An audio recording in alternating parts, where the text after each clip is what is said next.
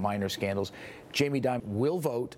Will vote in favor of Dimon for both. I don't think Jamie Dimon wants to be there healer and do very well for himself. Um, he can go and do what he really wants to do. From LinkedIn, because they're.